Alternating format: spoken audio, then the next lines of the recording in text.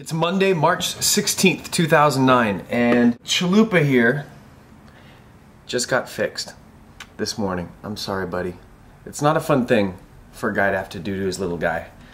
Probably not for girls either, but I think guys feel it just a little bit more.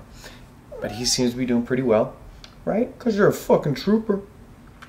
Anyway, we're gonna put you down. Last night, I asked a question of uh, the people that follow me or subscribe to me on Twitter and FriendFeed.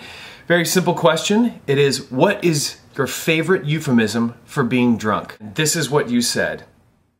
Socially lubricated, thrown, tore back, sloshed, plowed, shit fucked, smashed, hammered, shit faced. The classics. Three sheets to the wind. Awake, befuddled, trolleyed. Schnickered, hosed, charmingly verbose. Saucy, bladdered, euphemized.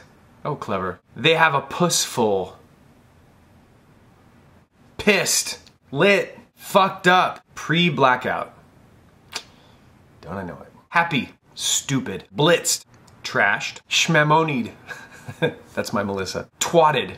Ah, the English stepping up to the plate. That sounds like a Brit. Gazeboed. Normal. On the piss. A good day. Toasty.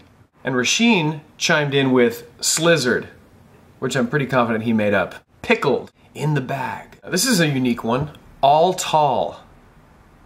All tall. Does that mean you're on the ground and you're looking up at everyone and they appear all tall? I don't know.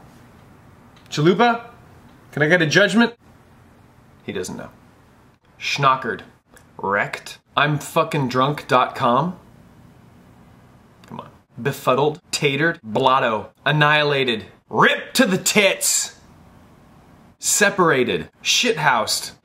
So you might be curious, what is my favorite euphemism for being drunk? I'm a big fan of shit hammered. Have a great day. Rip to the tits!